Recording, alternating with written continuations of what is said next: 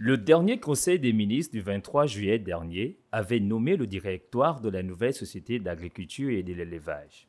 C'est dans cette optique que le ministre de l'Agriculture, de l'Élevage et de la Pêche, Jonathan Inyumba, a tenu à rappeler l'importance cruciale de cette nouvelle société d'État lors de la cérémonie d'installation des nouveaux promus. Soulignons la nécessité urgente de restaurer la sécurité et la souveraineté alimentaire du Gabon. Mesdames et messieurs, devant le CTI et devant le gouvernement de la transition, je prends ma part de responsabilité pour être un maillon décisif dans la réussite de cette belle promesse.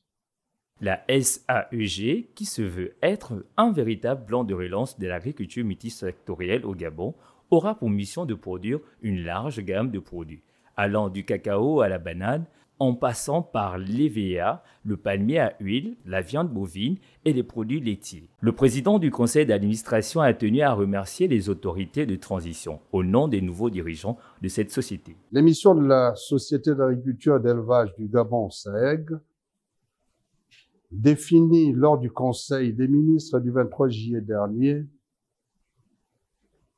doivent être connues de tous la nécessité de disposer d'un outil performant pour la mise en œuvre de la politique agricole nationale sous la tutelle technique du ministère de l'Agriculture, de l'Élevage et de la Pêche.